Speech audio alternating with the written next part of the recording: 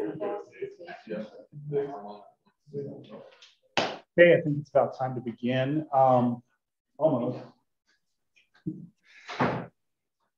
Hello, I'd like to thank everyone for coming out today. This is going to be the second of two guest speakers for a month-long um, commemoration of the Shoah through Holocaust education and awareness.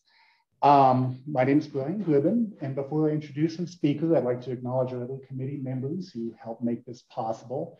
Most of you know Dr. Andy Nickel of the History Department, um, Dr. Paul Camp, who is not with us today, also played a role, as well as Holly Marquis, who's joining us via Zoom, um, the History Department's grad student, uh, Matt Lemunian.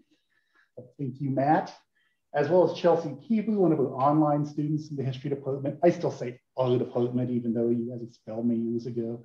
Um, David doesn't remember that. Um, and our colleagues, both at the Hays Public Library, Samantha Gill, Forsyth Library, Cough, Whitney Squire, whose students um, who assisted me in some of my prolonged absences and getting some of the displays up, as well as promoting the programming um, that we have offered this month. With that said, I'd like to introduce today's speaker, Mr. Lovro Kralj. He is a PhD candidate at Central European University. Um, he's working in the fields of fascism, anti-Semitism, and Holocaust studies with a focus on Central and Southeastern Europe, particularly in the ideological evolution of Croatian fascism. He holds a BA and an MA in philosophy and history from the University of Reykjavik. I hope I'm pronouncing this right, Reykjavik. And he has earned a second MA in comparative history from the Central European University. Additionally, he's held multiple fellowships, um, including the Sharon Abramson Research Grant for the study of the Holocaust from the Holocaust Educational Foundation, and a junior fellowship at the Vienna Wiesenthal Institute for Holocaust Studies. Um, many of us may be familiar with the extent to which collaboration among the inhabitants and governments of allied, allied governments to Nazi Germany played a role in you know, facilitating the, the mass murder of European Jews, um, motivated by self-interest, sometimes self-preservation, fueled by fascistic and nationalistic ideologies, and these and other factors. Um, Collaborators assume many different functions, many different identities. Now today, Lovro will share the story of a Croatian Holocaust perpetrator, which does illuminate the nature of genocide in Croatia. Um, this perpetrator was one of the main deportation um, experts, I'm using air quotes here, um, was directly involved in the deportation of more than 70,000 people. Now there will be time dedicated to questions following the presentation, uh, for those attending virtually through Zoom, please direct your questions to Holly Marquis, who will be mediating those, and they'll be sharing them with our presenter um, when he is finished. And with that, I give you Mr. Walter. Thank you. Thank you so much for uh, for the kind introduction. I'm very glad to be here uh, and to be with you. Hopefully, in the future, we will be able to see each other live if if the finances plus the pandemics and other uh, horrible events allow it. So uh, our idea today is to shed light on uh, a non-German perpetrator. I'm sure you are all familiar with uh, a last name such as Hitler, Eichmann, Himmler, Heydrich, and, and so on. But we'll try to uh, see what uh, the analysis of the perpetrator behavior from other countries, specifically from Croatia here, uh, can contribute to our understanding of the Holocaust and other genocides, and also to our understanding of uh, perpetrator studies. So I think that my lecture should be around one hour, uh, and then we will have plenty of time for the discussion. Uh, I'm not so sure about your background knowledge. So if sometimes I go too much into detail or there is something that was not clear from the presentation, feel free to write it down and we will answer that during the Q&A uh, session. So let us begin because we have a lot to cover here. So historians working in the field of Holocaust and genocide studies recognize now that perpetrators are not born but made. So in this presentation today, I will examine the making of one unfamiliar Holocaust perpetrator who was frequently remembered by his victims as simply infamous Tolj. Again, the Tolj pronunciation is very not very difficult for non-Slavic speakers, so you can refer to him in, as Tol. Uh, his fellow perpetrators recognize him as a top deportation expert in the independent state of Croatia, which is World War II Croatia, official name of the country. Considering that Tolj was involved in organizing and implementing the deportations of more than 70,000 Serbs, Jews, and Roma during the Second World War in, in the independent state of Croatia, this epithet, which was designated to him by both his fellow perpetrators and by victims, was justified. And yet, Tolj re basically remained in the shadows of contemporary historiography, not just internationally, but also in the national Croatian historiography. He is fairly unknown. So these presentations fall within the broad scope of Holocaust and genocide studies, or to be more precise, within the subdiscipline of perpetrator studies. The perpetrator studies aims to go beyond the, the field of demonology and finds it unsatisfactory to explain the perpetrator action as some sort of inborn quality of sadism, often referred to as simply evil. Scholars have noted that we cannot afford to simply accept evil as a sole explanatory model for perpetration of mass violence because the, sta the stakes are simply too high. There is a danger of falling into a trap of seeing perpetrators as inhuman and that to find the other people people's actions incomprehensible really means to abandon the search for understanding and thus to abandon history itself we need to understand, we need to soberly analyze and uncover the inner logic of violence in order to fight it effective, effectively in the future. Although often repeated in studies of mass violence, one can never overstate that those efforts to explain perpetrator behavior are not intended either to excuse or to forgive the perpetrator actions. So far, when it comes to Holocaust scholarship, uh, scholars almost exclusively focused on German perpetrators. We have studies on top ranking Nazi officials when considered as the architects of genocide, mid level organizers of the genocide, and at the bottom, the killers themselves. Most often, or probably you've, you've worked with and heard of Christopher Browning, who dealt with the murderers or the executioners in the field itself, self, the so-called ordinary men. However, the historiography of the Holocaust remains rather weak when it comes to non-German Holocaust perpetrators. The Holocaust itself was a transnational historical event, a pan-European one, where almost 10% of the victims actually never saw a German per perpetrator.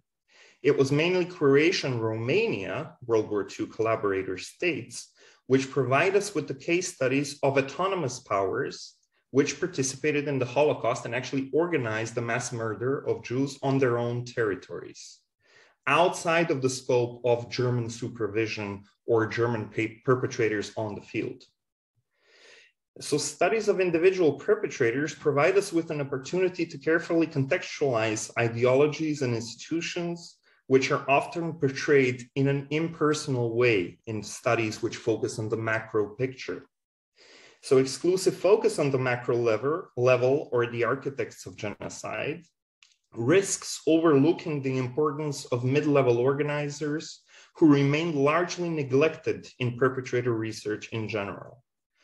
Per perpetrators on the ground, such as Ivan Tolj, tend to remain invisible when crimes are examined from the perspective of central institutions. So let us turn to, to the perpetrator who we will examine today.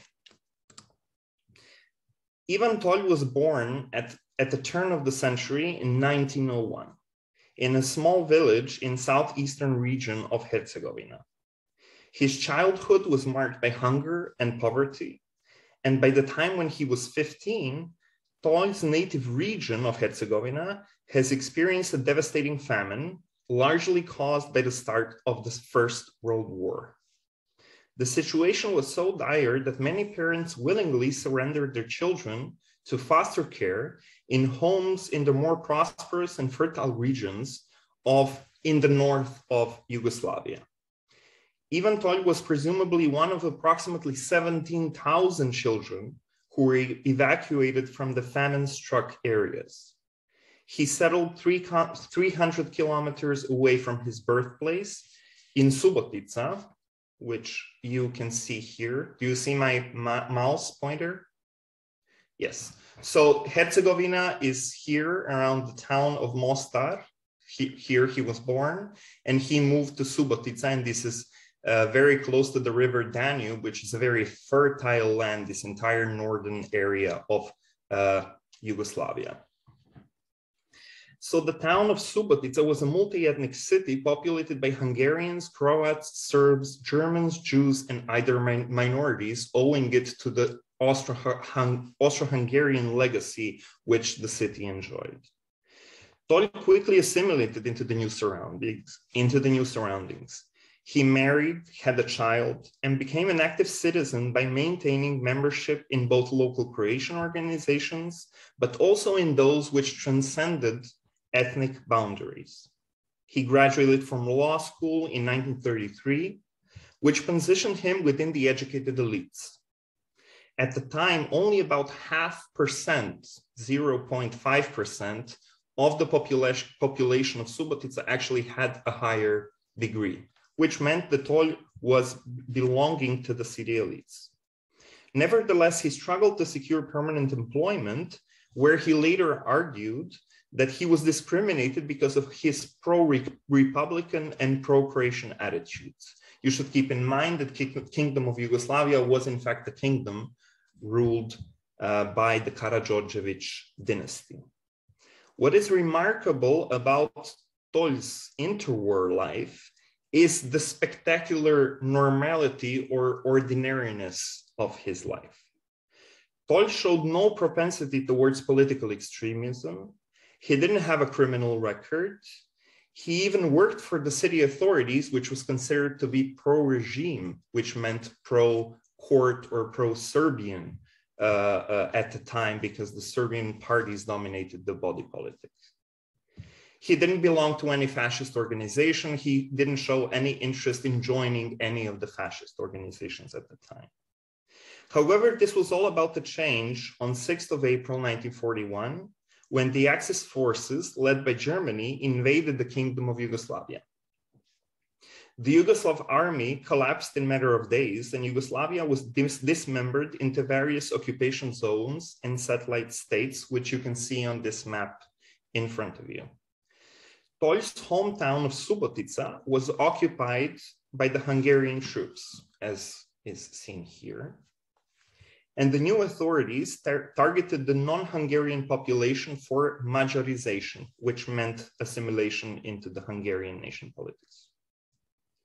South Slavic groups such as Serbs and Croats who belonged to the city elites, meaning being lawyers, teachers, members of the clergy or doctors, were perce perceived as a particular threat which could obstruct the planned Magyarization.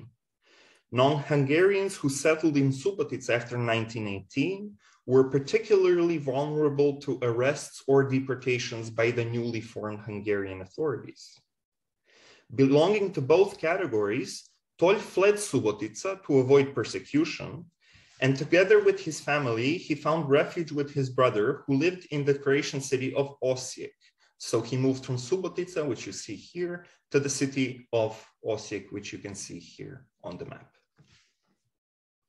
The city of Osijek fell within the uh, newly formed borders of the independent state of Croatia, which you can see in its full borders here in between something that is red or brown. So the independent state of Croatia. Uh, it was the country was a direct product of Axis invasion of Yugoslavia, and it was proclaimed on the 10th of April 1941. It consisted of contemporary Croatia, Bosnia and Herzegovina, and northern parts of Serbia, which you can see here. Catholic Croats formed a thin majority in the total population of roughly 6 million uh, which, which independent state of Croatia hosted. And the country was ruled by the Ustasha movement, a fascist organi- organization which based its ideology on xenophobia, chauvinism, ultranationalism, anti Semitism, and totalitarianism. From the outset, the Ustasha regime considered the multi ethnic and multi confessional diversity of the country, where virtually half of the population consisted of minorities such as Serbs, Germans, Hungarian Jews, and Roma, and others, to be an existential threat to the Ustasha rule. In other words, they aimed to create an ethnically homogenous state. The Ustasha perceived the, the minorities as obstructing the plans for the new beginning and the rebirth of the nation, which was proclaimed by the fascist authorities. Therefore, the reducing the number of minorities through ethnic cleansing was of utmost importance for the Ustasha leadership. Just to give you a broader map to see where the independent state of Croatia was located, you can see it in dark red here in Nazi occupied Europe. And here we will move on to the quote uh, to understand what the aims of the Ustasha regime were from the outset. So here you can see the quote of Eugen Dido Kvaternik, who can be described as the Himmler of the independent state of Croatia, because he was at the head of the security apparatus of the newly formed state. He said in the beginning of the war, uh, I mean, reflecting on the beginning of the war later on during 1941, he said, when we victoriously came back from emigration, Ante Pavelic, meaning the leader of the Ustasha movement, decided that I should oversee the measures taken against Jews and Serbs. I immediately took this task without any hesitation. I knew that the attitude of Jews towards the ideals of Croatian people, and I was aware of the role which they played for the decades in Croatian political life. I knew that this question had to re- be resolved for the future of the Croatian people and the state. Someone had to sacrifice himself for it. Someone had to implement these hor- horrible but necessary measures. Okay, so you can see here already the outlines of the Ustasha uh, central policies, which I said were genocide and ethnic cleansing of minorities, and these were primarily ethnic Serbs, Jews, and Roma. And this was ingrained in the political project of the independent state of Croatia basically from day one, from the establishment of the state. So in order to accomplish uh, these political aims, the Ustasha needed manpower. You should keep in mind that just before they took control in the independent state of Croatia, the Ustasha movement had around one to 2,000 sworn members. In other words, it was a tiny political organization. Even though Tolj was not a member of the Ustasha movement, he was aware of these issues through the mediation of his brother, who I mentioned before, who was an Ustasha sympathizer and an editor of the local nationalistic daily. Having, re having recently lost his property, means of income, and trying to support a family which counted on him as a breadwinner, Tolj was pretty much in a desperate situation. Joining the Ustasha regime offered Tolj an opportunity to find meaning in great political turmoil, as well as to reinvent himself in social terms. It gave him a chance to satisfy, satisfy his need for belonging and to fashion a certain kind of positive identity and to grasp his role in the emergence of the new Nazi and fascist order. So, in order to turn a new page, at the end of April 1941, Tolj wrote a personal letter to Andrei Artukovic, who was the recently appointed, the newly appointed Minister of Interior of the independent state of Croatia and one of the most radical Ustasha ideologues. Tolj's choice of writing to Artukovic, the minister, was carefully calculated, since the two men shared a common regional background and their hometowns, the places where they were born, were only five kilometers apart. Since he had not belonged to the Ustasha inner circle during the interwar period, Tolj knew that he could not count on a top office in the Ustasha regime. However, with his educational background and working experience in administration, he hoped to get a mid ranking position as a potentially district prefect or regional governor. Tolj's bid was eventually successful, and the minister Artukovic uh, appointed him as the chief of police of Vinkovci district, which you can see here. So this is contemporary map of Croatian railways, which will be very important for us. Even though it's a contemporary map, the railway system from the Austro-Hungarian Empire pretty much remained the same up until today. So uh, Tolj found refuge with his brother in the city of Osijek, which I'm pointing out here, and moved and received a new position in the city of Vinkovci, which you can see here on the map, on the on the in the eastern part of the map. so he uh, took his office in the beginning of May 1941, and this relationship between Tolj and the minister of Artukovic would prove to be faithful for both men as the, their collaboration would profoundly shape the policies of ethnic cleansing in the independent state of Croatia. Coming back to, to the city of Vinkovci, and here you can see a little bit of background information. So located in the northeast Croatia, Vinkovci had a strategically important uh, railway. It was a major, major railway junction in the region.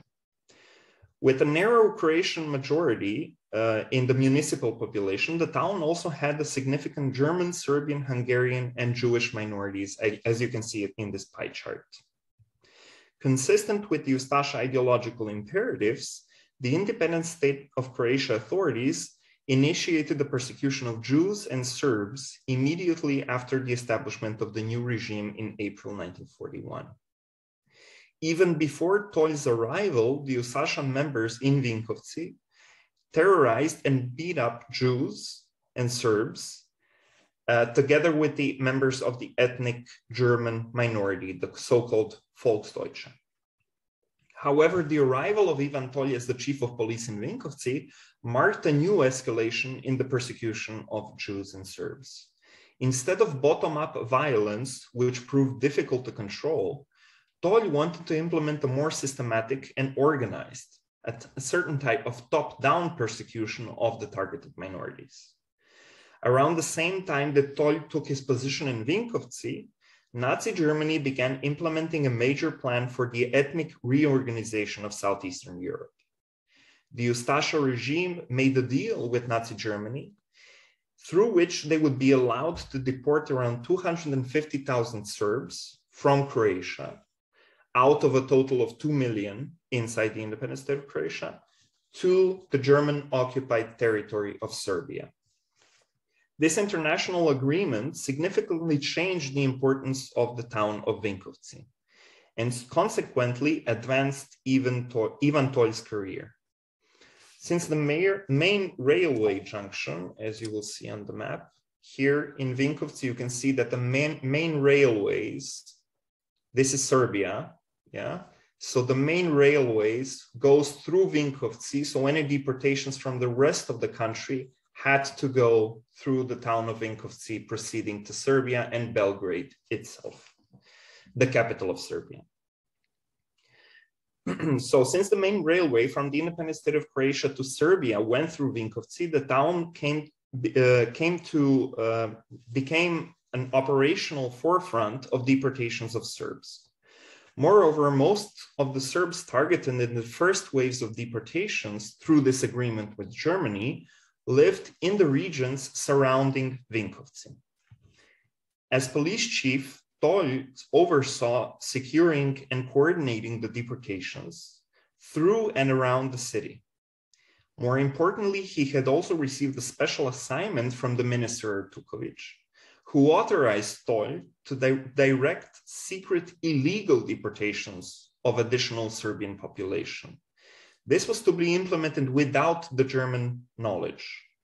Since the de deportation agreement between Germany and the independent st state of Croatia covered around 10% of the total Serbian population in, in the independent in, in, in, the state, the Ustasha regime tried to secret, secretly deport as many additional Serbs as possible in the hope that this would, this would not be prevented by Germans. These secret deportations called for the concentration of Serbs from Slavonia, which is this region here, in a district of Vinkovci, seen here, from the, where they would be deported. And if you, you can follow me, so the official deportations ran through the red line, which is the official railway system, while the secret deportations, which were uh, happening simultaneously, would assemble people in the town of Vinkovci. They would be taken through this railway system to the city of Brčko, which is here, and then marched on foot, since there is no railways here, to the city of Bijeljina. In Bijeljina, they would be concentrated and on foot they would be forced to cross the border with Serbia. Here you cannot see it on the map, but there is a river Drina here, which is the bound, which was the state boundary, the the the official uh, state border between the two countries. And uh, Serbian civilians were forced to march across the river, or they were ferried across to Serbia proper. In just over a week, during the mid-June 1941, Croatian authorities uh, deported at least 11,000 Serbs through this illegal deportation line. While Tolj coordinated this deportation, he faced an unexpected difficulty of having to deal with a local Volksdeutsche. That is the German minority in Croatia, which occupied an important political position because of the independent state of Croatia's uh, alliance with Nazi Germany. The Volksdeutsche constituted almost a quarter of the population of the city of Vinkovci. And the independent state of Croatia provided them with a great degree of political autonomy. Increased political representation, for the Volksdeutsche, uh, especially in comparison to other ethnic groups. Uh, the Volksdeutsche were also given the rights to organize their own paramilitary organizations. These concessions from the, from the independent state of Croatia led contemporaries to consider that the Volksdeutsche and the independent state of Croatia were in fact a state within a state.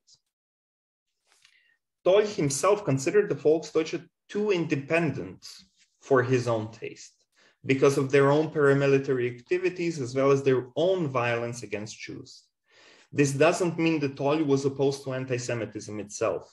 He simply tried to secure the dominance of the Ustasha movement and, and of uh, Croats at the time over the anti Semitic measures, including the requisition and nationalization of Jewish property. Therefore, he was uh, trying to secure that the Jewish property would be distributed exclusively among ethnic Croats instead of being distributed among ethnic Germans who populated the area. Tolj's frequent conflicts with the Volksdeutsche and his insistence that they should submit to the Croatian authorities led to a serious political conflict the local Volksdeutsche complained to the Central Ustasha authorities in Zagreb, which is the capital of Croatia, which you can see here on the map. They complained to, to the officials in Zagreb that Tolj maintained anti-German attitudes. Despite Tolj's prominent role in coordinating the deportations of Serbs from the independent state of Croatia to Serbia, the Ustasha leadership, leadership in Zagreb could not risk an open conflict with the Volksdeutsche, which could in turn generate a serious diplomatic incident with Nazi Germany, which officially protected all uh, German minorities across Europe. Even as it became clear that he had that Tolj had to be removed from his position in Vinkovci, his involvement in the deportations of, of Serbs made him an important asset to the Ustasha regime.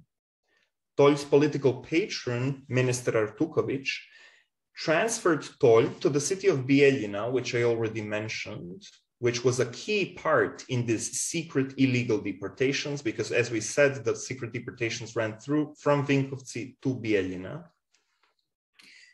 Uh, because Bijeljina was one of the uh, central uh, locations in this entire process of deportations.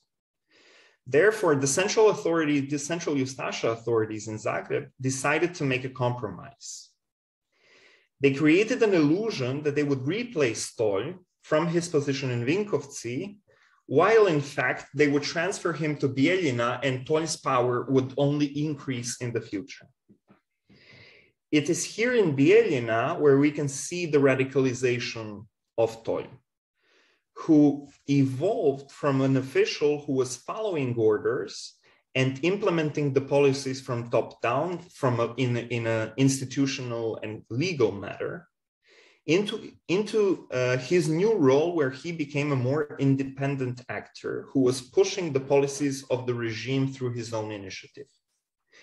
In Bijeljina, Tolj was meant to cleanse the area, which was considered of prime importance because of its borderland status with Serbia.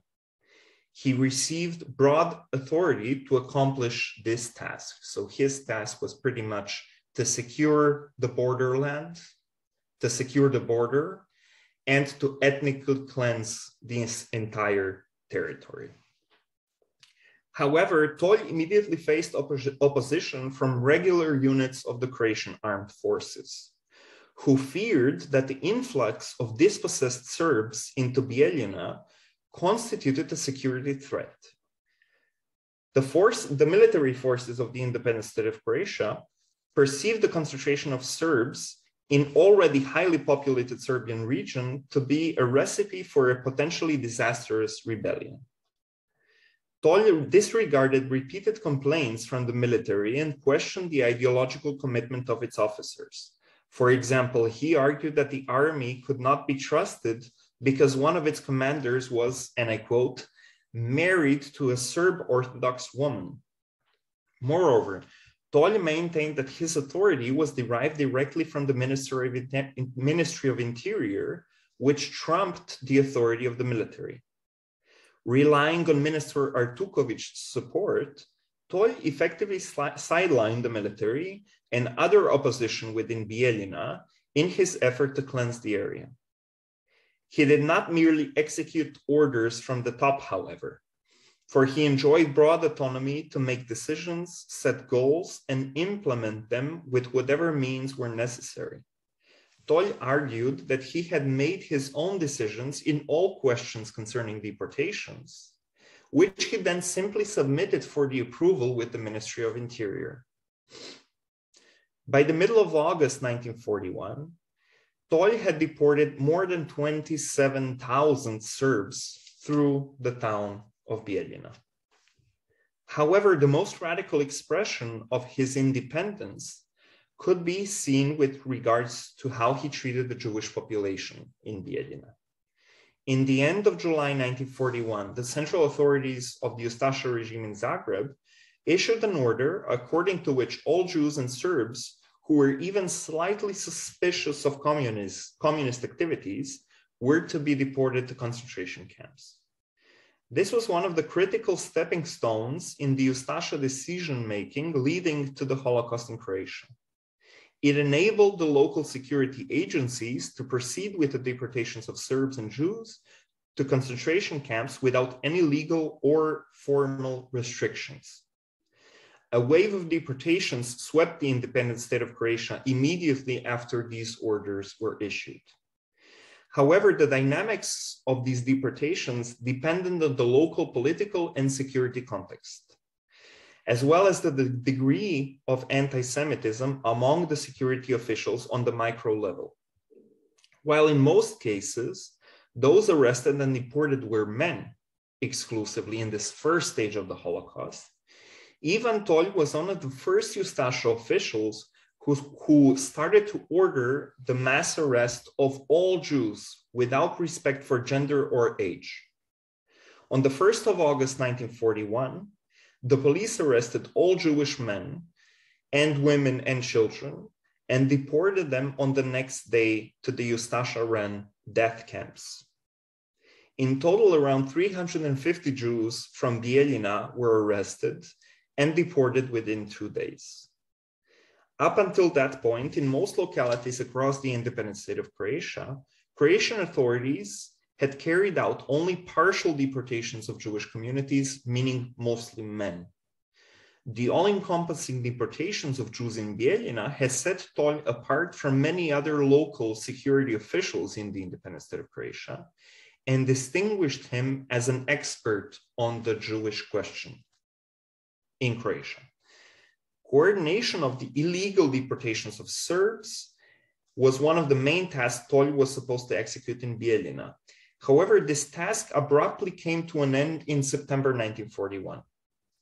Repeated complaints and objections from German military authorities in occupied Serbia against such deportations escalated in a meeting during September, and Nazi Germany forbade any further deportations from Croatia to Serbia proper uh, in September 1941.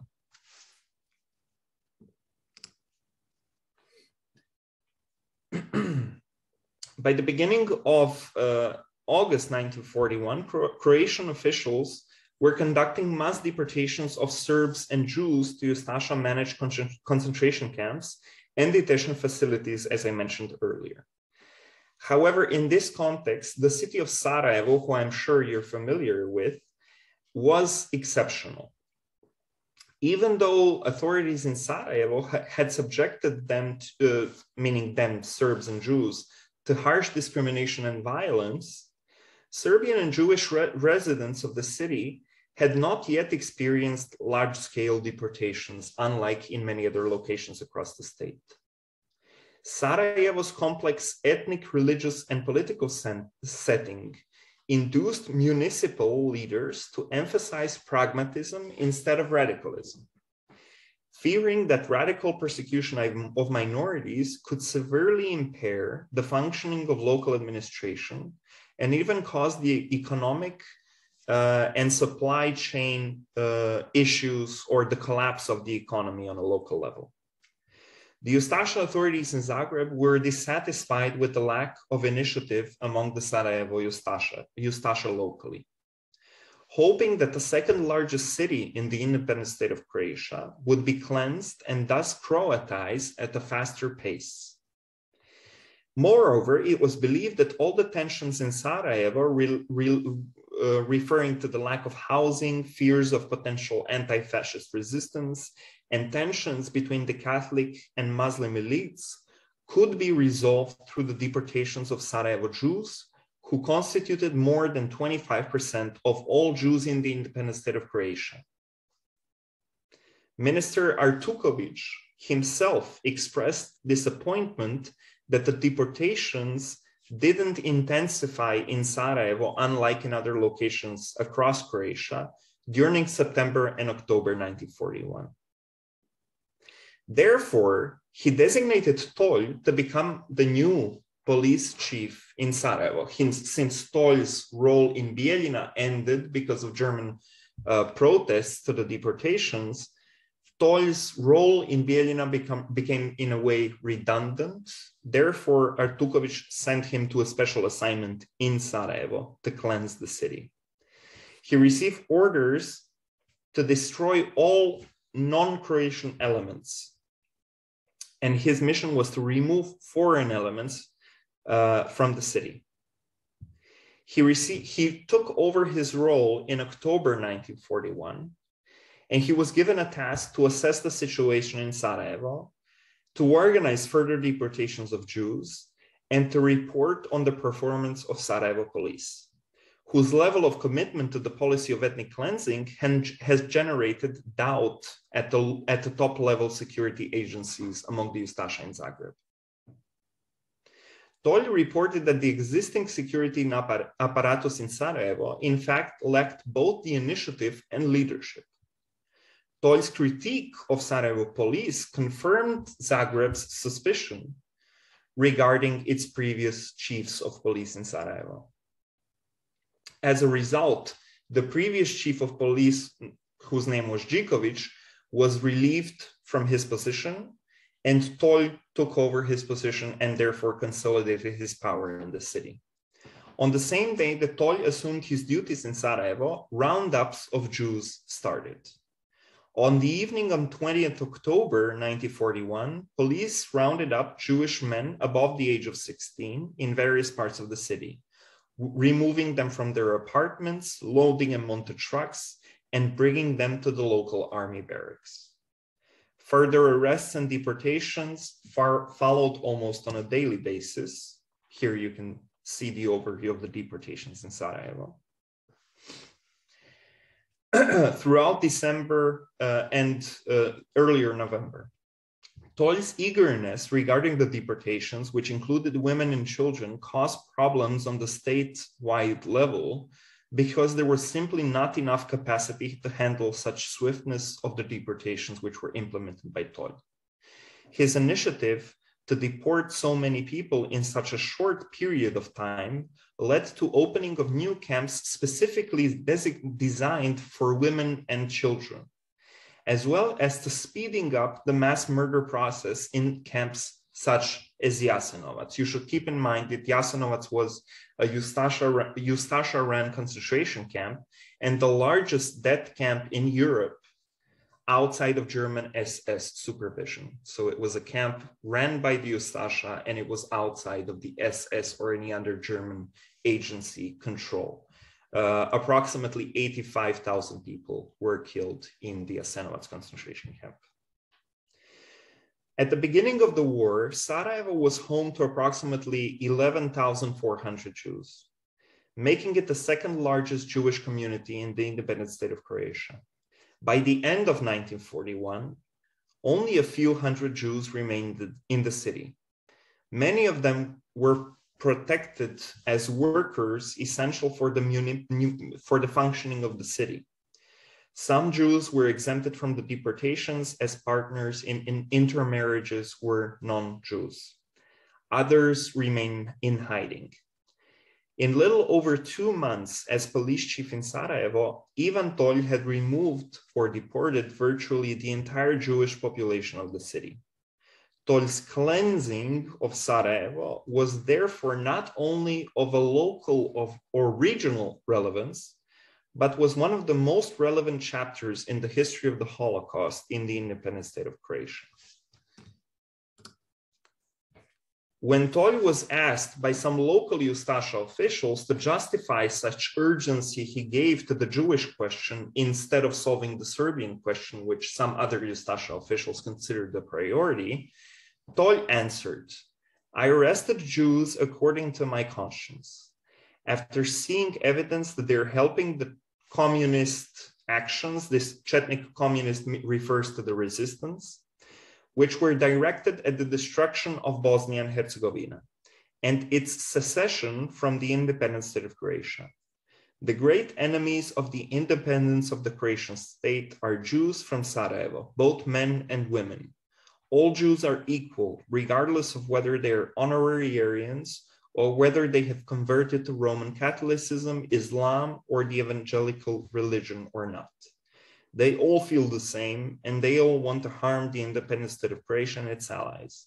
As a Croat and a loyal, loyal follower of Poglavnik, and Poglavnik here reverse, refers to the leader of the Ustasha movement, it has the same meaning as the Führer or the Duce in other European uh, contexts. I need to tell the truth. I'm continuing with the quote.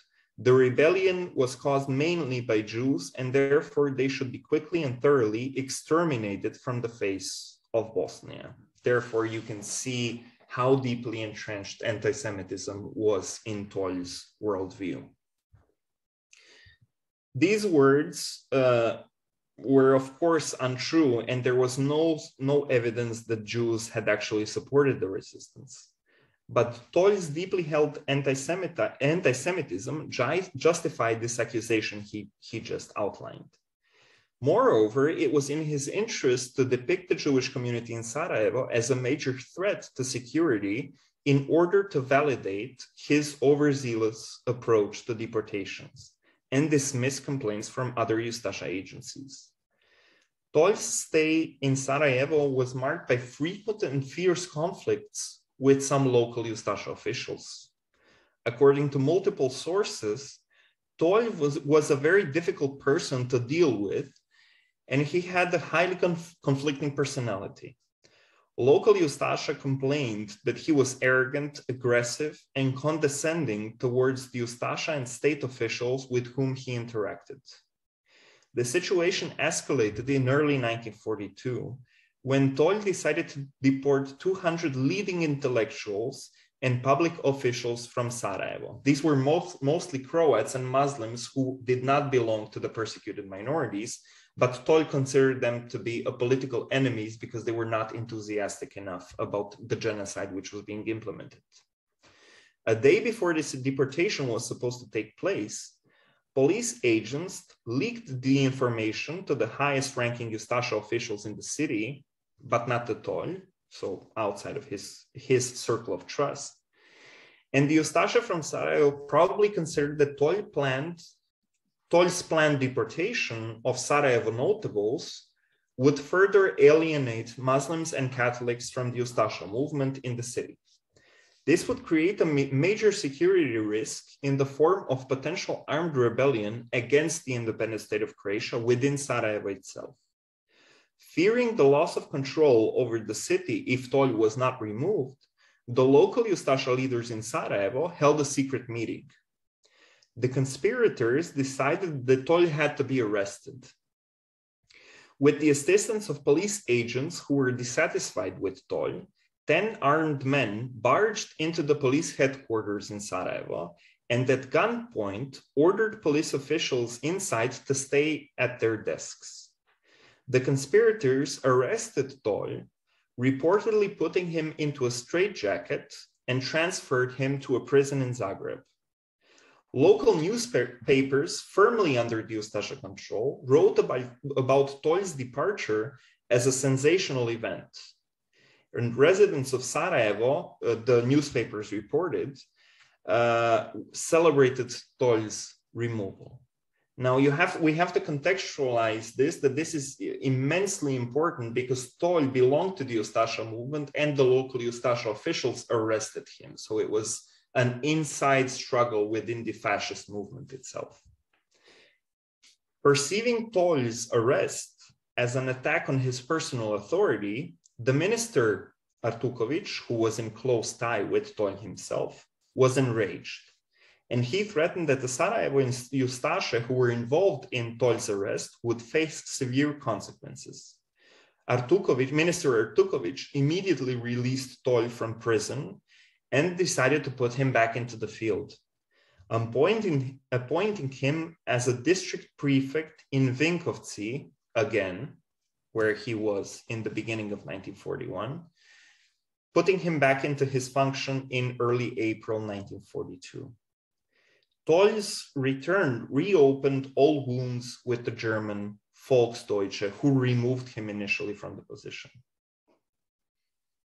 Volksdeutsche complained that Tolj's behavior was very often erratic and that his return to Vinkovci would mean chaos. However, this time the protests of the Volksdeutsche were ignored because the central authorities in Zagreb considered it their priority to start with the genocidal cleansing of the area surrounding Vinkovci. At the beginning of 1942, the population of Vinkovci and much of eastern Croatia, which we focused on before, had not yet been subjected to mass deportations or killing operations and retained, retained a high degree of multi-ethnicity. So earlier we talked about the deportations of Serbs, but these deportations were halted in September 1941, as I mentioned, and the deportations of Jews were slower than in other regions of the independent state of Croatia.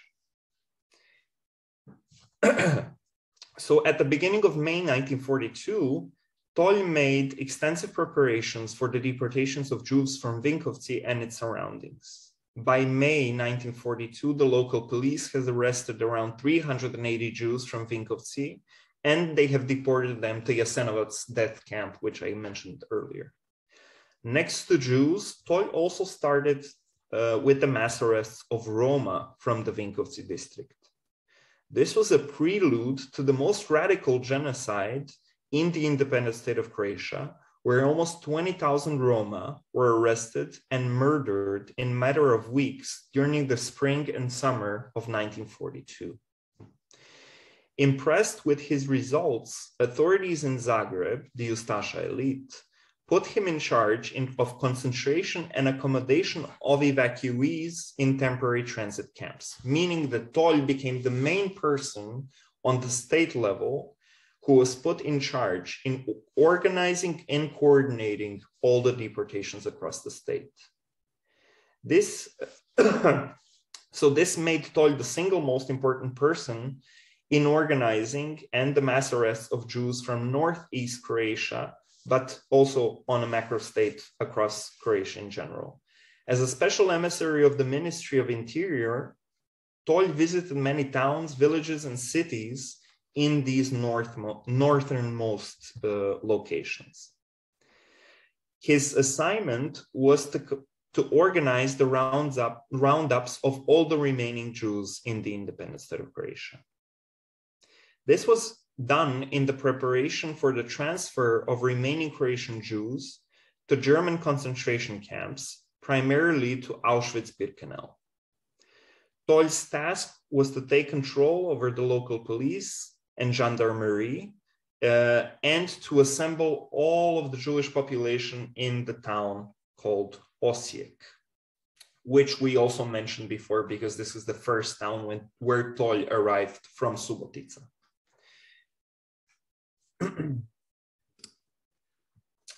Tolj uh, was detailed to Osijek on the 20th of July 1942 to ensure that the deportations would be implemented uh, expeditiously. A few days later, Croatian gendarmes seized and transported to Osijek uh, all the remaining Jews from the countryside, countryside, which increased the number of the Jewish population in Osijek itself to 3,500. Finally, during the August, uh, the, during the month of August 1942, German SS officer Franz Abromeit arrived in Osijek to inspect the deportations of Jewish prisoners from the city and transport them to German controlled death camps. During the following days, German SS and police uh, officials deported around 3,500 Jews from Osijek to Auschwitz, and the Croatian authorities removed further 300 Jews from Osijek and sent them to the Croatian death camp of Jasenovac. By the end of 1942, the Croatian authorities had deported or killed most of the Croatian Jews and virtually all Roma residents of the independent state of Croatia. Tolj remained the district prefect in Vinkovci, where he continued to terrorize the local population through mass shooting and public hangings of civilians suspected of giving aid and comfort to the resistance movement known as the Yugoslav partisans.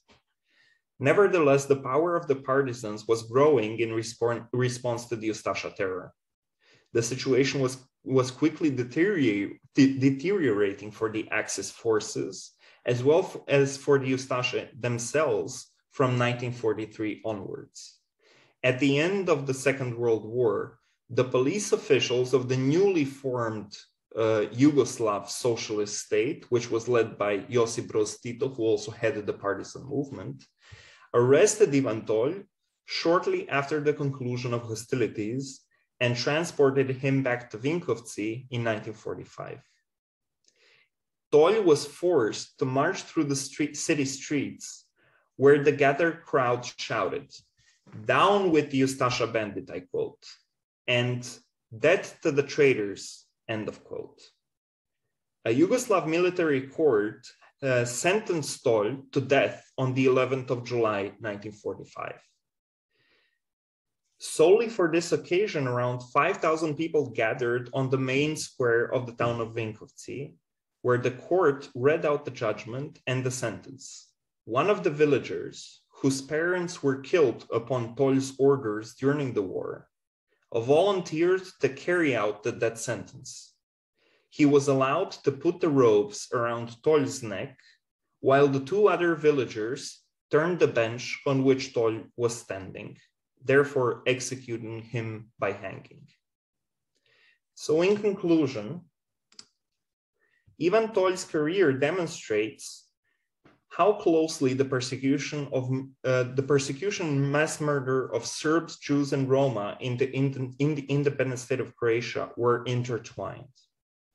The experiences that Tolj, along with his superiors, superiors, gained through deporting tens of thousands of Serbs in Vinkovci and Bijeljina was vital in implementing similar measures against Jews in the later months every third Jewish victim of the Holocaust in the independent state of Croatia was deliver, delivered to his or her death through deportations organized by Ivan Tolj. Ultimately, the shocking swiftness of deportations and the mass murder of virtually all Roma in the independent state of Croatia in matter of weeks would hardly have been possible without the expertise acquired through the preceding deportations of Serbs and Jews. Therefore, the cleansing operations against one group created preconditions and opportunities for the persecution of other groups.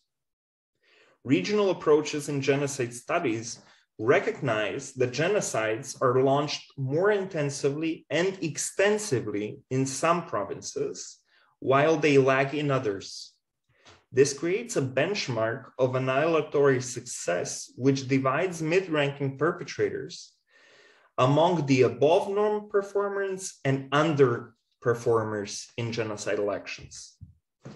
Ivan Tolj was one zealous Ustasha perpetrator who advanced the cleansing of provinces he presided over more expeditiously than other Ustasha functionaries.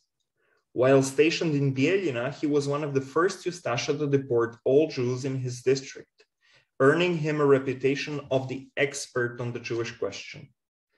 Tolj's transfer to Sarajevo as police chief was both a message to those who fell behind in the implementation of genocidal measures, as well as a test to see how far Tolj could push cleansing operations.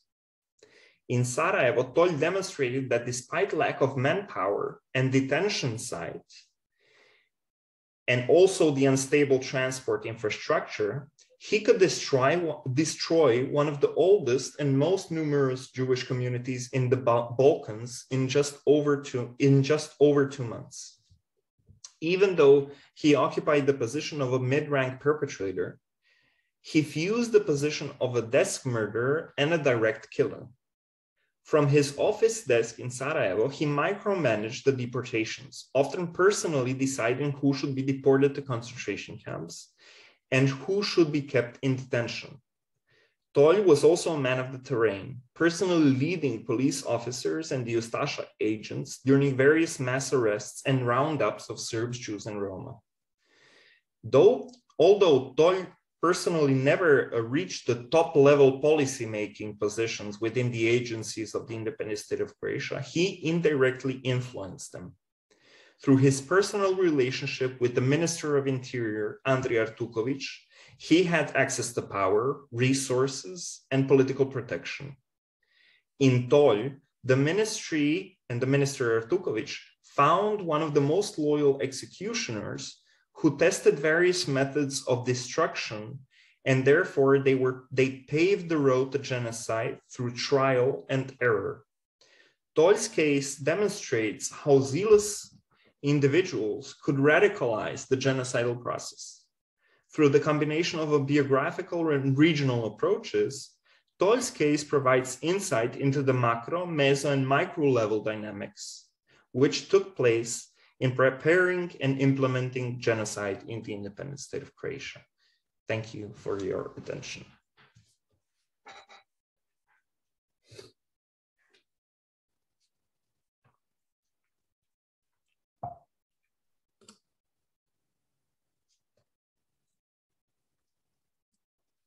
Okay, let's go ahead and open it up to questions. Anyone would like to begin before I ask? I have a question from online actually.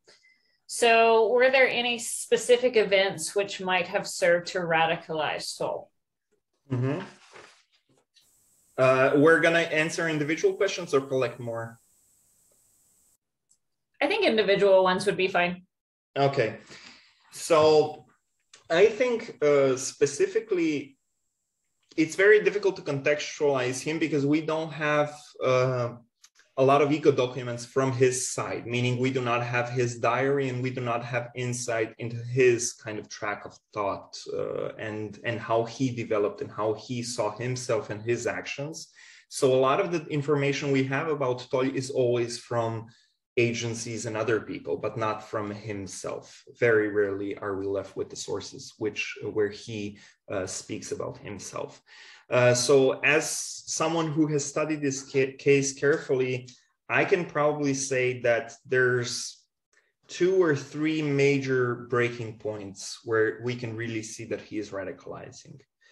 First of all, is his deportation or his exile. We do not know whether it's self imposed or he was actually exiled by the authorities of the Hungarian. Uh, newly, uh, newly occupied uh, territories by the Hungarian governments in Subotica we know that this basically forced him to leave everything he had behind in Subotica and to start a new life in the independent state of Croatia. So I would say this is one of the first uh, paths toward radicalization, which forced him to completely reinvent himself as an individual. And we said the second uh, point would be this transfer from Vinkovci to Bijeljina, where he was given the secret task uh, to head these deportations of Serbs. And due to this secrecy, he had to do a lot of improvisations. And he kind of re- received a blank card that he could do whatever he wanted to make this happen. Uh, and here I see that he is really sometimes even running against the legal orders where he was following them blindly in Vinkovci in the, these first two months. I really see this uh, transfer to Bijeljina, which means July, August, and September 1941, as being uh, one of the key stepping uh, stones. And then in Sarajevo, we can actually see that he, uh, Tolj is even too radical for some of the local uh, and we can really see his anti Semitism uh, being brought into the forefront in a certain way. Because up until Sarajevo, Tolj was mainly concerned with the deportations of Serbs, while somehow in Sarajevo, he kind of disregards the deportations of Serbs from Sarajevo and only focuses on Jews. And here we can really see the most radical expression uh, of his anti-Semitism in, in this stage. But also just some food for thought is uh, and this is what's kind of puzzling me very often when I think about this case is just how normalized was it for him that these deportations were taking place? Because he is sort of a man who does not belong anywhere. So he's born in Herzegovina. He leaves Herzegovina because of hunger, settles in Subotica, then is in Subotica for 20 years. Then he's deported from there to independent state of Croatia.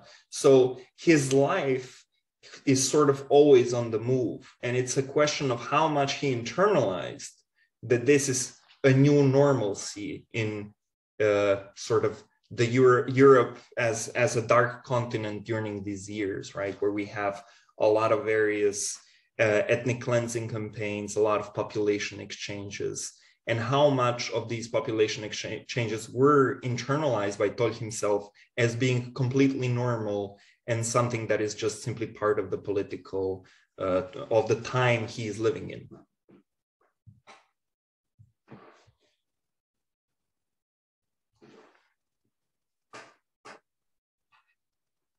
Um, with the with the question of radicalization, you mentioned that before his arrival in in Vignisi, if I'm pronouncing that correct, in, in, May 41, there was this ad hoc campaign of harassment against against Jews and, and Serbs by by Croats and and, and the Volksdeutsch. Um, at least among the Croats, do you have any indication as to their commitment um, to the Ustasha, to, to those fascistic ideals, or how much of it was was just born of pure nationalism, or with the case of, of, of anti of anti-Semitism, just that that um, sentiment. I think of like young, I think of Jan Gross in Poland and the idea of Holocaust without Nazis and, and this idea of just being. Mm-hmm. Very good question. Mm-hmm. Uh, so what we do know is that there was initially uh, there there is certain discrepancy on how uh, the Croatian authorities approached the genocide against Jews and the genocide against Serbs. Initially, a lot of historians would say that uh, the Ustasha were mainly concerned with Serbs as the main political enemy because they were the most numerous uh, in Croatia. So they they practically formed almost a third of the population of the independent state of Croatia, almost 2 million out of the total population of 6 million. And they were considered as a political threat because they were seen as a kind of a politically privileged class during the kingdom of Yugoslavia, which is pretty much false, but this is the perception from the from Croatian fascism. Uh, so initially, there is a lot of pogroms against the Serbian population, which end in mass murder. Uh, while the Croatian authorities are in certain ways trying to contain this violence when it comes to the Jewish uh, victims. So Jews were discriminated, they were robbed, they were looted, their uh, property was nationalized. Uh, but the authorities pretty much prevented any ad hoc violence against them when they could.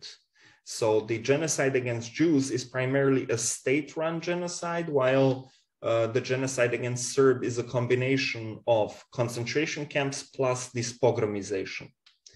Uh, there are different factors contributing to this. One of them is that Jews were concentrated in urban settings in Croatia. So more than 75% of Jewish population lived in cities, uh, not in the countryside. And therefore they were closer to the centers of authority because the Ustasha mainly held power in cities and towns, rarely in uh, rural areas, especially in multi-ethnic uh, regions. So this pogromization was primarily, at least initially, led by the Volksdeutsche. And uh, this was very, in some cases, like in Osijek, which I studied, uh, there is even some sort of a, an agreement, an unofficial agreement between the local Nazis, uh, the folks uh, who, who are not all Volksdeutsche, of course. Not all Volksdeutsche were Nazis but there is an unofficial agreement that uh, the, the local Germans would persecute and take charge of the persecution of Jews, while Croats and the Ustasha movement would take charge in the persecution of Serbs. However, when uh, Croats realize that they will receive the helm of the state, they're not too happy with this deal uh, because they want Jewish property. They know whoever will control the persecution of Jews at least in their mind, because it's motivated by economic anti Semitism, they have this idea that Jews are running the local economy. And they think whoever will take charge in the persecution of Jews will take over their businesses, their stores, and therefore they would form the backbone of the future political elite, economic and political elite within various localities, right? Uh, so they're trying to prevent uh, local Germans from doing exactly that. And they try to take as much power from them and especially to remove them from the process of the destruction of the local Jewish communities. Uh, you, we, we need to see this as a also as a process because there is no initial straightforward plan on how to uh, implement the persecution of uh, the Jewish population. It's pretty much clear that they want to take over their property, but the idea that uh, the Holocaust as we know it today would end in mass murder really only crystallizes within the Ustasha regime in, let's say, September and October 1941. There we can really see uh, that there is a certain kind of a plan being put in place. Sorry, David. Just as a quick follow up, um, how does that that kind of crystallization coincide with partisan activity? Was the increase that kind of led to that that more kind of pretext of security concerns? Mm-hmm. So that's a very very complicated question, which we could have a lecture on just in itself. So. Uh, Tolj plays an important role in that uh, because he shows what can be done. So I would say uh, that the, we have clear intent at the leadership level. So when we look at the, uh, what the Ustasha elite in Zagreb is saying, uh, in press very openly that they want to create a state without Jews, right? So that this is stated very openly already in May and uh, June 1941. Just keep in mind that the state was formed in April. So this is very quickly barely a month after the state was formed, this plan is already outlined. Uh, but this I, I would argue we need to use a different layers of analysis here. We cannot analyze the architects and the local police and the regional uh, Ustasha officials in the same way. Uh, so what the leadership needs to do is to really educate the lower officials on what they mean by this message. Because we see that when the state officials issue these orders, arrest all Jews who are considered or suspicious as being communist, we really see a huge diversity of how local officials actually receive the order. In Sarajevo, they don't do pretty much anything. They just say, well, we are arresting people on, on an individual basis if they're communists or not.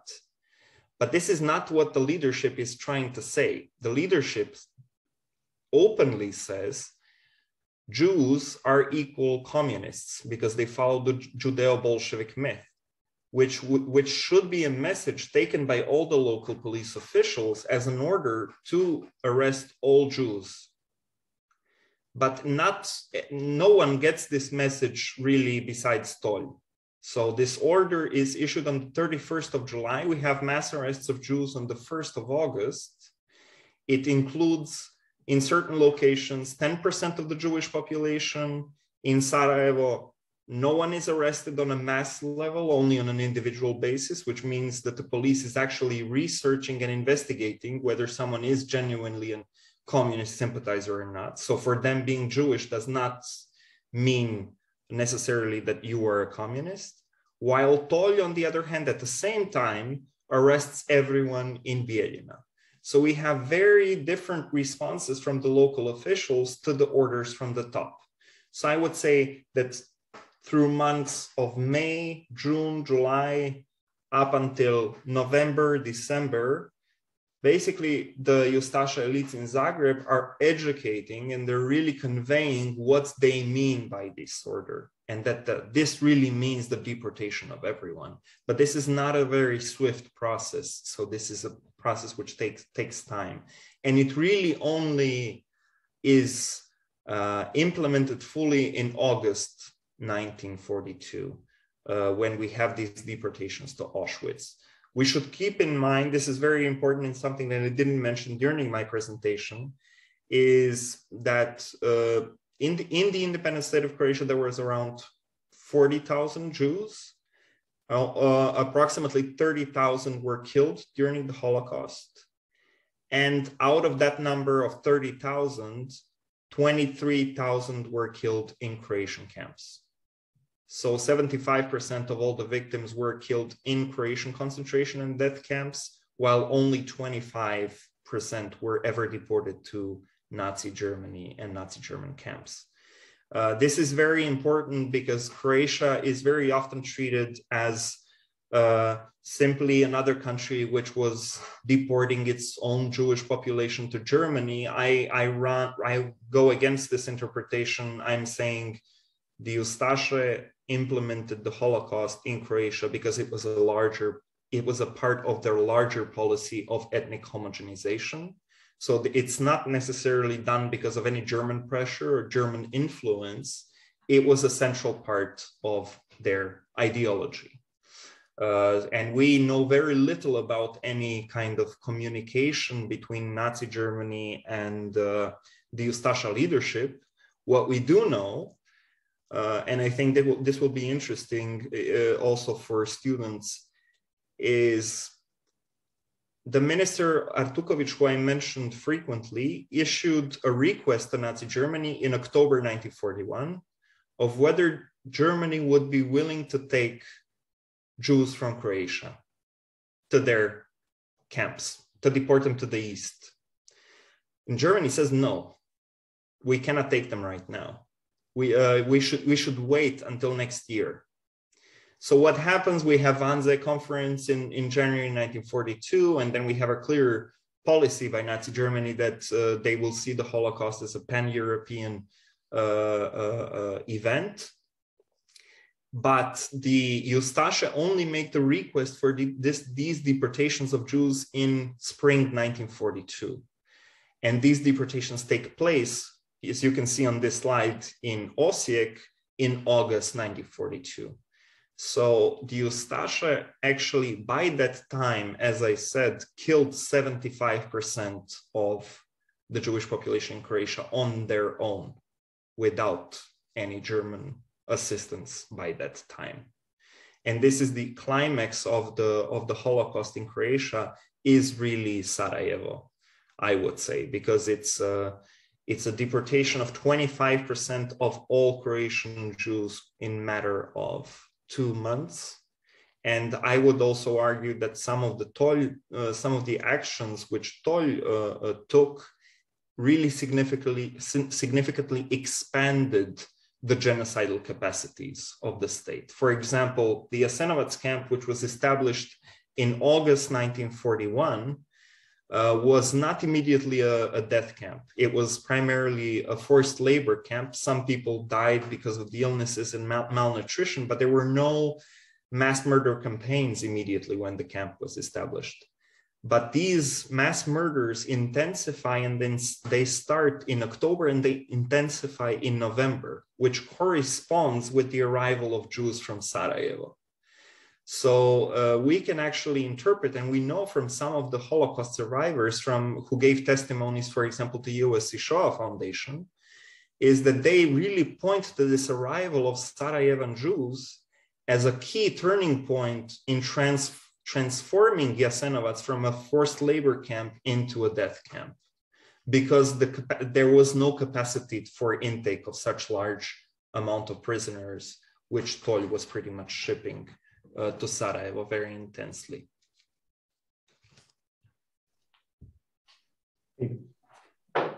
I do have a question.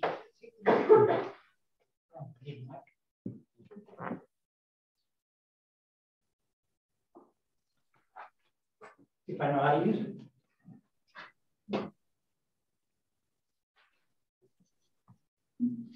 Can you hear me? Yeah. Okay, good. Uh, Jasenovac gets almost all the attention for logical reasons. It's where more people were killed than anyplace else. Uh, but as early as the Jasenovac was Gradiška. Mm-hmm. Um, and I believe that's where the that's where the the Ustasha tried to first to implement chemical execution, even before Jasenovac. Uh, was that something that was produced uh, mostly by uh, the central government, the central Ustasha government in, in Stalingrad, or was it something that, that the Germans were pushing? And I don't know the answer to that. That's why I'm asking. So uh, we have before Jasenovac, the most important concentration camp was something that we call the Gospic complex. Uh, so just if I can return to the map, so it's a bit clearer on where we are. So the city of Gospic you can see here, if you can see the map. Can you see the map? yes. Okay. So Gospic is here, yeah. Uh, and this was the initially the central place where people were deported. So we're talking May, June, July. And Gospic is called a complex because in Gospic itself, there was just a transit place where people were deported either to the island of Pag, mostly Jews, and then there was another execution site here, which is called Jadovno. And it's pretty much a, a kind of a pit where people were uh, thrown into. And so this was initially the main execution site where approximately 25,000 Serbs and a, a, few thousand Jews were not really, uh, there are no precise data uh, here, but let's say three to 4,000 uh, Jews were also killed here. Uh, so this camp is initially the main camp of the Ustasha movement. But what happens is that in August and September 1941, Italy pretty much occupies the southern part of the country. Yeah. So the Ustasha are forced to shut this camp down and open a new national camp. And the new national camp is formed in Jasenovac, which is somewhere around here, let's say. Yeah. So this is where the new camp is formed. And Jasenovac is pretty much the main camp throughout the existence, and it has a satellite camp, which our colleague mentioned is Stara Gradiška. But Stara Gradiška is, is opened uh, in 1942, and it uh, becomes primarily a camp for women and children. And in, it is true that uh, the Ustashi experimented with the implementation of gas, especially against children. There are rumors that children were gassed in this camp. Uh, but they also experimented in Jasenovac with various methods of destruction. For example, uh, it is a fairly well-known uh, case in Jasenovac where they tried to create a certain kind of uh, crematorium where people would enter alive. So they would not kill them as in the Nazi German case and then put the bodies in the crematoria. They would put these people alive into this crematoria and burn them alive. Uh, so they experimented with various methods of uh, destruction in Jasenovac, which included also the, the, mass shooting, but then also the usage of knives and blunt weapons against victims. Uh, so Jasenovac operated a, a, series of these satellite camps, which Stara Gradiška was a part of. I really appreciate the comments that a lot of attention is given to Jasenovac. Uh, I also uh, uh, think that there is too much attention given to Jasenovac because there are 30 other concentration camps which are almost unknown in the independent state of Croatia. One of them is, for example, Đakovo, which you can see, see in the vicinity of Vinkovci here. And Đakovo was one of those camps which was exclusively made for women and children. And virtually all the women from Sarajevo, Jewish women and children from Sarajevo, were deported to Đakovo, while men were taken to Jasenovac. And men were killed immediately, while uh, women and children in Đakovo received a, a, a better treatment uh, because of various reasons, but they themselves were taken from Đakovo in 1942 to Stara Gradiška when Stara Gradiška opened, and they were killed there, and a lot of them uh, died because of various uh, diseases. Uh, so, so I hope this answers your question. If if I can answer it more precisely, uh, uh, feel free to ask more.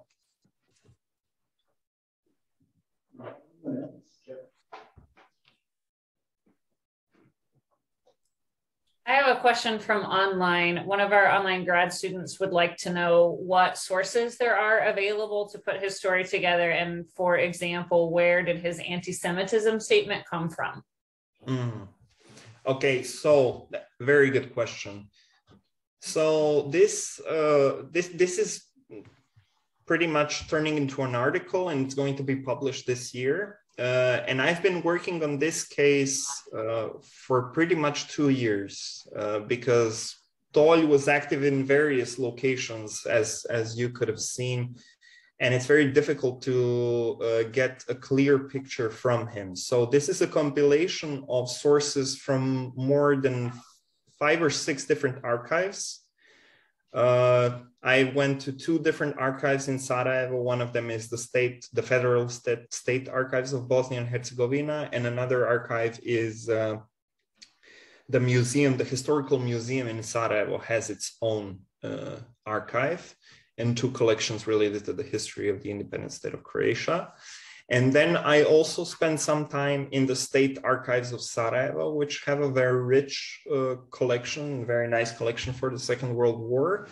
And then, of course, in Zagreb, there is uh, a lot of materials from various ministries, uh, from various uh, regional authorities, which are just collected in Zagreb itself. Uh, the archives in Slavonski Brod also contain some material primarily concerning uh, the Volksdeutsch and the history of, of ethnic German communities across uh, Croatia. And the archives in Vinkovci are also helpful. I also used uh, sources such as uh, testimonies of victims, which are located in various publications. The Jewish community the Alliance of Jewish Communities of Yugoslavia published uh, eight or nine volumes. Uh, actually, I, I have it here. It's just a second.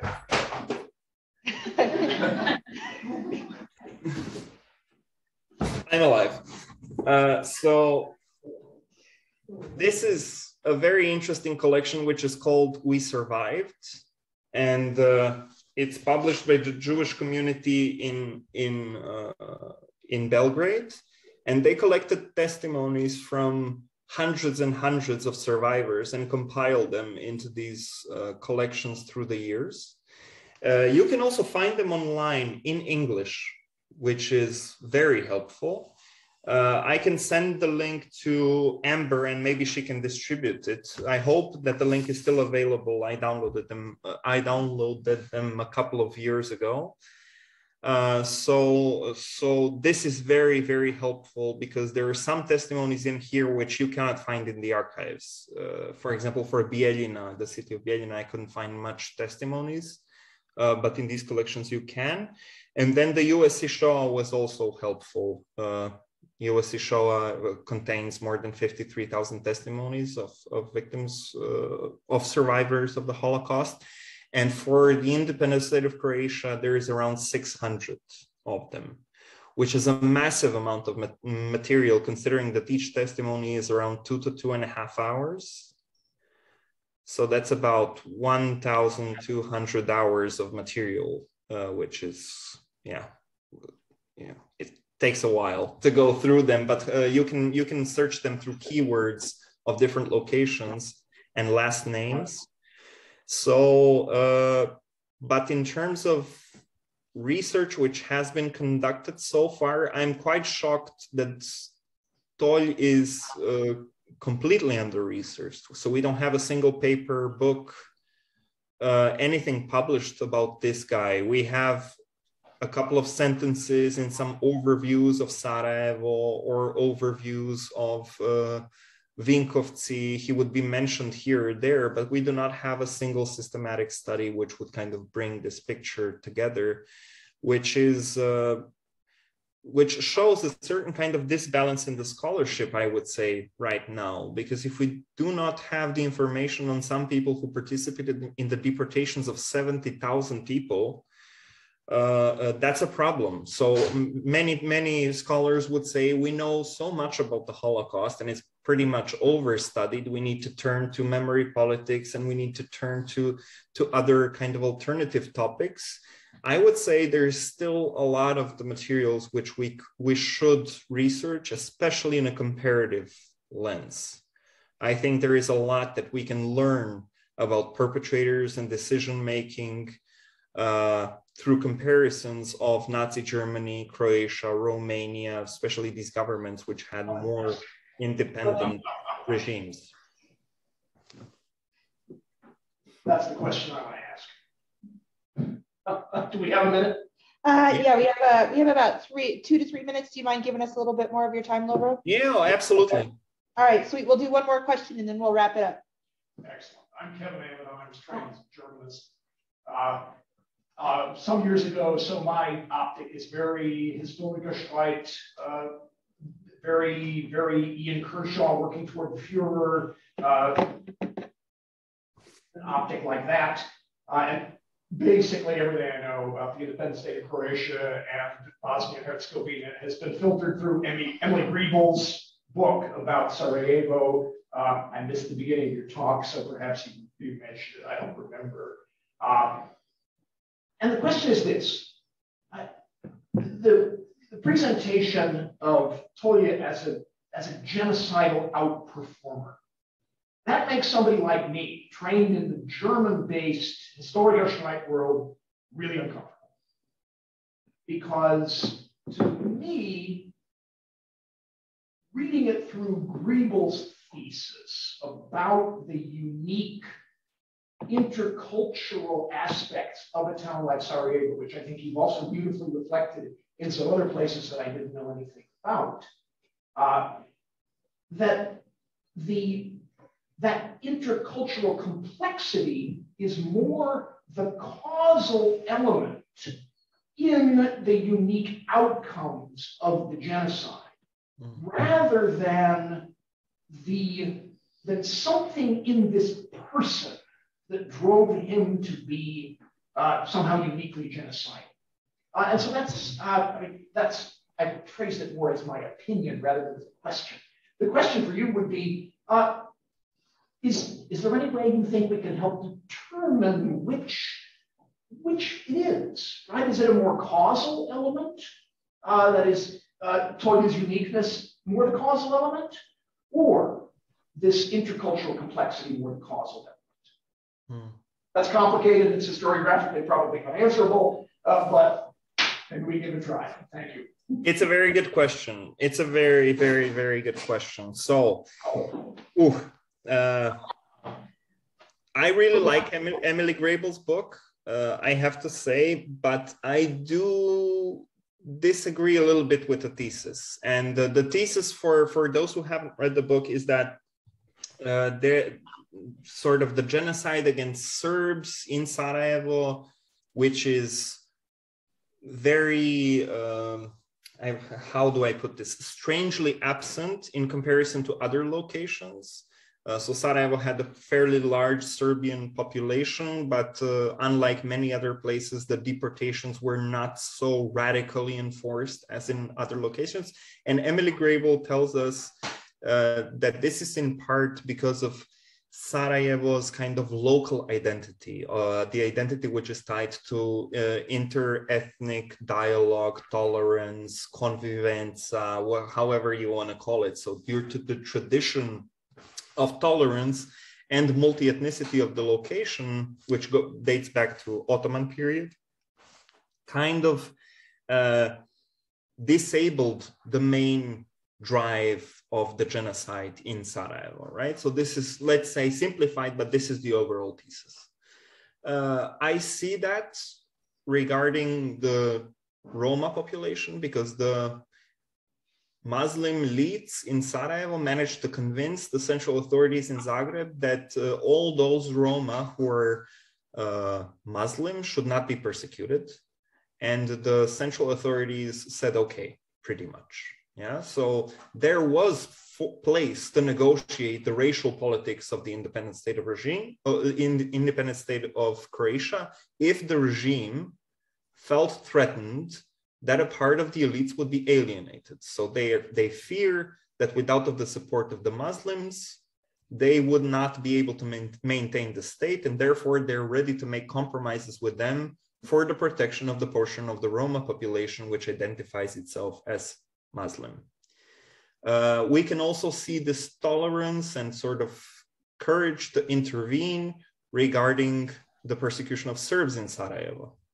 But what is really strangely absent is the interventions for the Jewish community.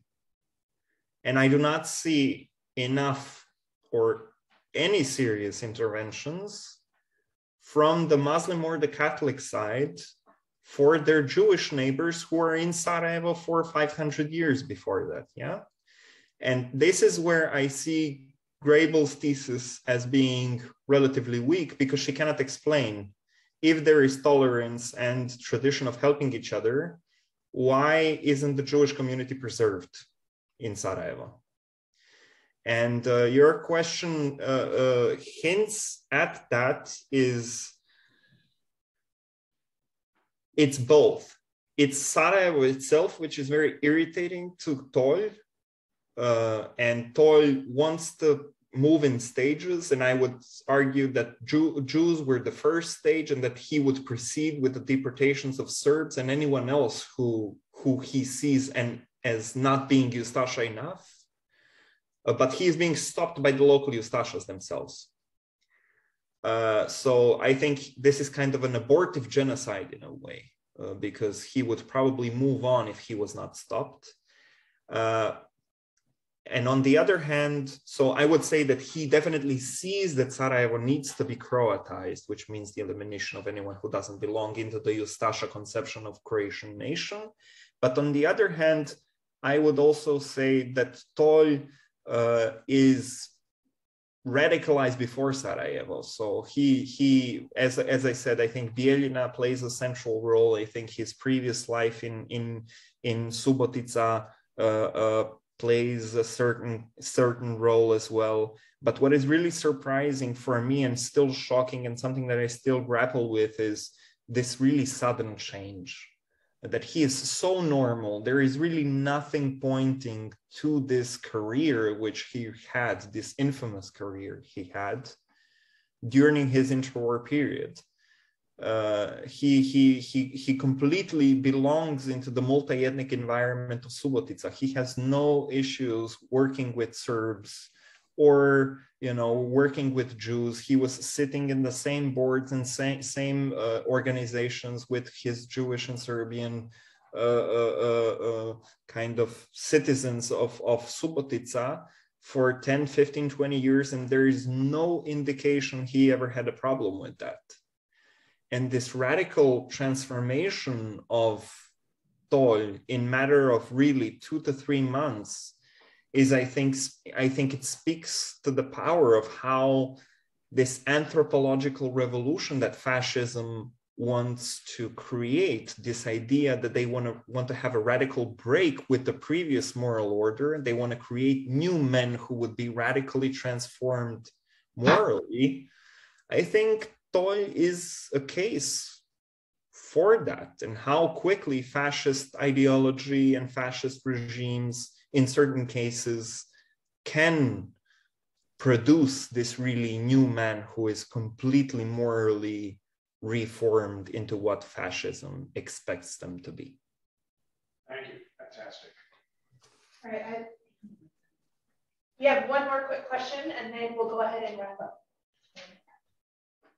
I don't have a question, I have a comment. Thank you for joining us. Um, you talked about Tolj's finding meaning from political turmoil, and I wrote that down because it's very haunting for me to think about that. Um, it, I think it underscores for me and probably other educators in the room how important it is um, to work with our college students in higher education to find meaning, um, find meaning in life, in their lives, in their work.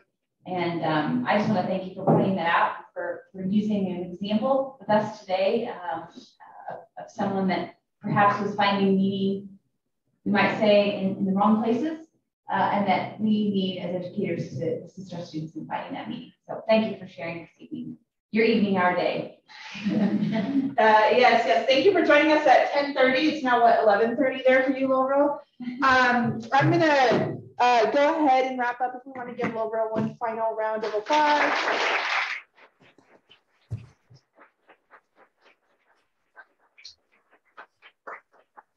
And just a reminder for those of you here today, we will be screening the film Everything is Illuminated at the Hays Public Library on Thursday evening at 6 p.m. And the Forsyth Library still has an exhibit up with digital QR codes, so I recommend that you take a gander at that. And of course, there is a display at the public library right now, so use that library card, go out and do some reading. Um, otherwise, thank you for taking the time to spend your afternoon with us today. Um, and we look forward to seeing you at the rest of the events this month.